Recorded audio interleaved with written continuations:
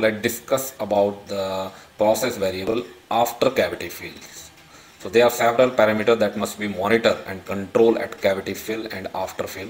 These parameters are impact pressure. The impact pressure is the highest hydraulic head uh, pressure measured by the pressure transducer near the end of cavity fill. The impact pressure is critical with regard to flashing and dimensional control issue related to die and uh, slide blow problems. The impact force is combination of static force from the residual uh, accumulator pressure at the point of impact and kinematic force from the stopping of the moving mass of the hydraulic fluid. Shot end components and the metal. Two means used by the industry to control impact pressure are programmable shot control system that are capable uh, to declarating the shot system near the end of cavity fill. Another is soft shot technology, a series of specially designed overflow positioned at the position of final filling in the cavity die. The purpose of which is to stall out the kinetic energy of the shot system.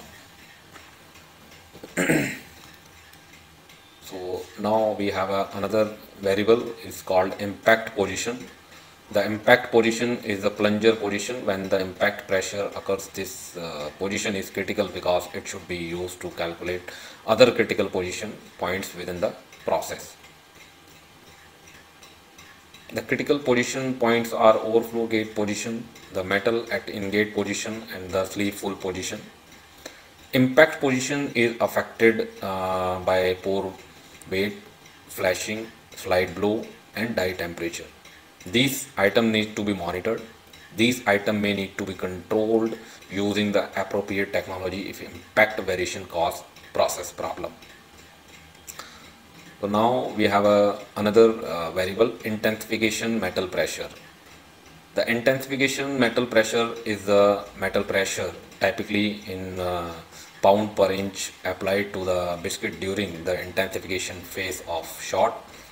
It is best to calculate the metal pressure which is the intensifier accumulator pressure multiplied by the hydraulic cylinder area then divided by the plunger area. To understand the pressure on the metal uh, during intensification, it is known that pressure tight casting or casting require low level of porosity may require intensification metal pressure of at least 8000 psi to 20000 psi the calculation uh, you can find out on my youtube channel.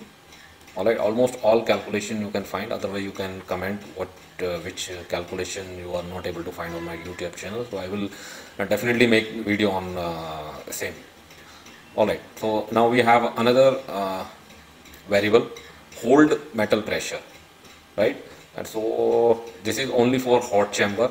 This variable you can find in hot chamber only. So hold metal pressure is the average metal pressure held after the impact uh, position. Hold metal pressure can affect shrinkage porosity. Small plunger diameter cause uh, larger hold metal pressure while large plungers cause lower hold metal pressure.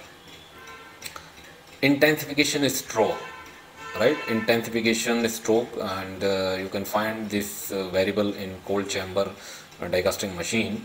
The intensification stroke is the distance traveled after the impact position. The intensification stroke indicate how much shrinkage volume in the casting is replaced during the intensification. This value can be compared to the shot volume to determine the percent of percentage of shrinkage eliminated during the intensification average overflow fill velocity is another variable after cavity fill. The average overflow fill velocity can either be the plunger velocity during overflow fill or the overflow gate velocity during the overflow fill this value is an important determinant of impact force. If the plunger velocity during the overflow fill is close to the fill velocity the impact force may be too high because the plunger did not declarate much as the overflow filled. If this value is between one third and one half of the plunger velocity during fill, the impact force should be minimized. If this value is below one third or plunger velocity during fill, the peak impact pressure may occur before the overflow fills. If the peak impact pressure happens before the overflow fills, the overflow may not be venting air and dirty metal well enough and flashing problem may occur. This is a very important uh, thing you can check for flashing. Plunger drift velocity and uh, this is variable only you can find in hot chamber. So please uh, note down. The plunger drift is the plunger over travel after impact. The majority of the movement during plunger drift is leakage of metal by the rings in the hot chamber system. The best way to measure this is by rate of movement or velocity. Maximum standard for plunger drift velocity should be set by plant or by job. If the plunger drift velocity standard is exceeded, the machine is no longer maintaining adequate metal pressure as the casting is freezing. If this occurs, the rings, plunger or gooseneck may need to be changed. Okay, to calculate the above parameters uh, at cavity fill and after cavity fill, several other process variable must be uh, determined. First is impact velocity. This is the velocity required by the monitoring system to detect the impact pressure. The impact velocity is typically between 5 and 12 inch per second. The monitoring system should start at the end of the velocity data array and look backward in the data array to find when this velocity was first exceeded. Then the monitoring system can look for the peak pressure which would be identified as the impact pressure within a range of uh, time and uh, unit will be millisecond before and after the impact velocity is found. The second parameter uh, end of shot velocity this is determined by assigning velocity at which impact has occurred. Some monitoring system can be armed to begin, looking for the velocity. As the die becomes full and the plunger has now able to go to the uh, velocity reduced very quickly. This technique is very good at finding the impact position.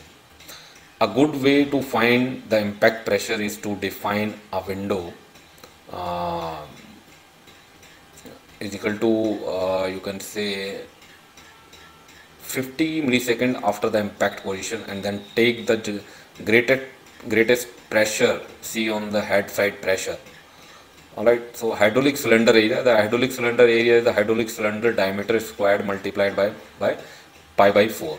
Plunger area, the plunger area is equivalent to the plunger diameter squared multiplied by uh, pi by 4. Overflow volume, the overflow volume is the overflow weight divided by the liquid metal density.